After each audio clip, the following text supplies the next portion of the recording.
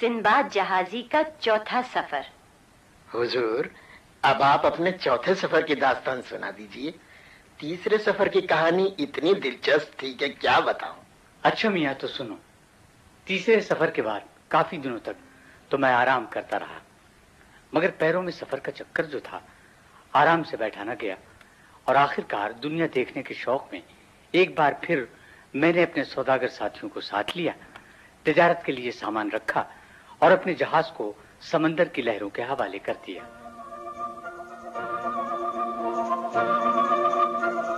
شروع شروع میں تو قسمت نے ہمارا خوب ساتھ دیا۔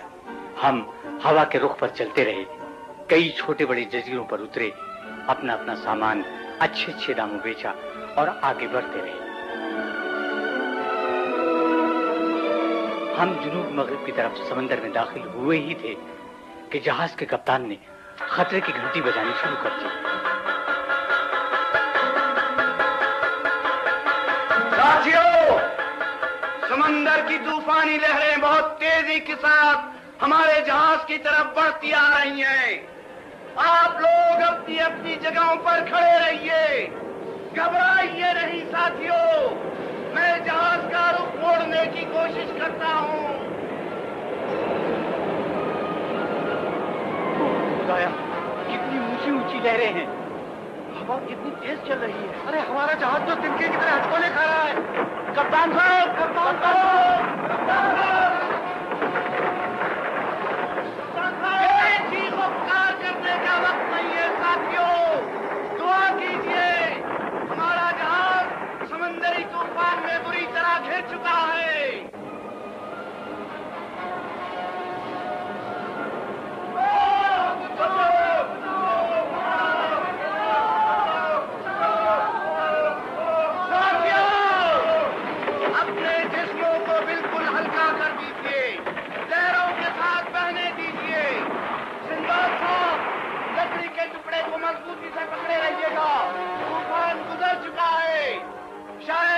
شاید ہم کسی ساحل پر پہنچ جائیں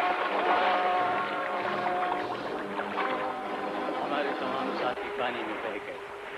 جو بچ گئے تھے، وہ بھی مجھ سے بچھڑ گئے۔ آخر کار میں ایک نامعلوم جزیرے کے ساحل پر پہنچ گیا۔ وہاں مجھے گزرتے ہوئے جہاز کا بادبان نظر آ گیا۔ میں نے ہاتھ ہلا ہلا کر ان کی طرف اشارہ کیا۔ وہ مجھے اپنے ساتھ اپنے شہر لے گئے اور اچھی طرح کھلانے پلانے کے بعد اپنے بادشاہ کے حضور مجھے پیش کر دیا۔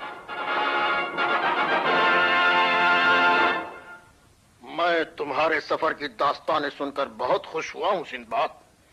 اس دنیا میں تم جیسے خوش قسمت اور بہادر لوگ ابھی موجود ہیں۔ میں یہ سوچ بھی نہیں سکتا تھا۔ آپ تو شرمندہ کر رہے ہیں بادشاہ سلامت۔ واہ واہ۔ سبحان اللہ مجھے تمہاری یہ بات اور بھی اچھی لگی۔ میں چاہتا ہوں سندباد تم تھوڑے دنوں تک اس ملک میں رہو تاکہ تمہاری خوبیوں کو دیکھ کر ہمارے لوگ بھی کچھ سیکھ سکیں۔ میں کس قابل ہوں بادشاہ سلامت؟ وزیر اعظم سندباد کے رہنے کا انتظام کیا جائے۔ جو حکم بادشاہ سلامت؟ وزیر اعظم آپ کے ملک میں ہر طرح کی خوشحالی ہے کاروبار ہے دولت ہے ہر قسم کی آسانیاں ہیں۔ مگر ایک بات سمجھ میں نہیں آتی۔ کون سی بات؟ آپ لوگ گھوڑے کی ننگی پیٹ پر کیوں بیٹھتے ہیں؟ اس طرح سواری کرتے ہوئے آپ لوگوں کو تکلیف نہیں ہوتی؟ ہوتی تو ہے بھائی سن بات مگر علاج کیا ہے؟ شاہی گھوڑے کی پیٹ بھی ننگی رہتی ہے۔ یہ بھی کوئی پوچھنے کی بات ہے۔ اچھا یہ تو کوئی بات نہ ہوئی۔ سب سے پہلے میں لوہار کے پاس گیا پھر بڑھئی کے پاس اور پھر چمڑے والے کے پاس۔ تھوڑے ہی دنوں کے اندر اندر میں نے ان تینوں کی مدد سے ایک نہایت آرام دہ اور شاندار زین بادشاہ سلامت کے گھوڑے کے لیے تیار کی۔ اسے گھوڑے کی پیٹ پر باندھا اور بادشاہ سلامت سے سواری کی درخواست کی۔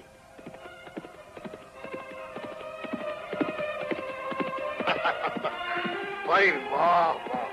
سبحان اللہ سندباد سبحان اللہ تم نے تو کمال ہی کر دیا۔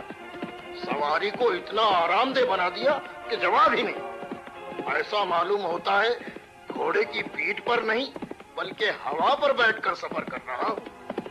بتاؤ سندباد اس کے بدلے تم کیا انعام چاہتے ہو؟ بادشاہ سلامت آپ کو زین پسند آ گئی۔ اس سے بڑا انعام میرے لیے اور کیا ہو سکتا ہے؟ تم ایسے نہیں مانو گے۔ ٹھیک ہے مجھے اپنی ملکہ سے مشورہ کر لینے دو۔ پھر تمہیں ایسا انعام دیا جائے گا کہ تم بھی یاد کرو گے۔ سنیے ملکہ۔ جی۔ بیٹا تو کوئی ہے نہیں جو میرے بعد تخت کا حقدار بنے۔ کیوں نہ اپنی بیٹی زہرا کی شادی سندباد سے کر دی جائے۔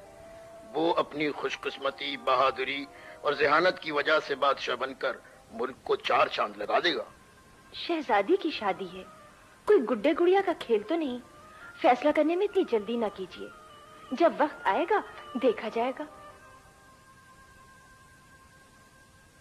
بادشاہ سلامت کے بعد میں نے ایک زین وزیر اعظم کو بھی بنا کر دی۔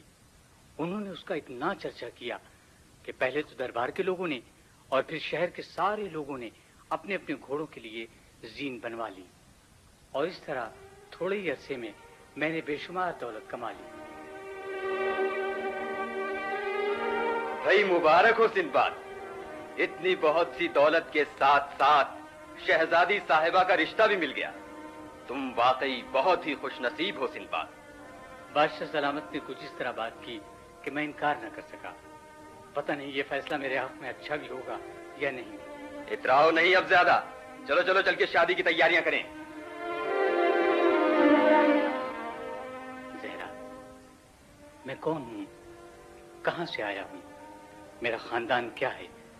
یہ سب کچھ معلوم کیے بغیر ہی بادشاہ سلامت نے مجھے اتنی بڑی عزت بخشی ہے۔ میں وعدہ کرتا ہوں زہرا تمہیں ہر طرح سے خوش رکھنے کی کوشش کروں گا۔ ابا حضور کے فیصلے کبھی غلط نہیں ہوا کرتے۔